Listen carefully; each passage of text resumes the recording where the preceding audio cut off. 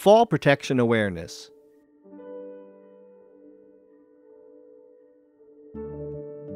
Falls are a leading cause of workplace fatalities. Generally, when a fall of 4 feet is possible, fall protection is required. The goals of fall protection are to, first, prevent fall incidents, and second, to arrest falls as soon as possible. There are two methods used to provide fall protection passive and active. When passive fall protection is not available or does not provide adequate protection, an active fall protection system must be used. Working in elevated areas can present serious fall hazards.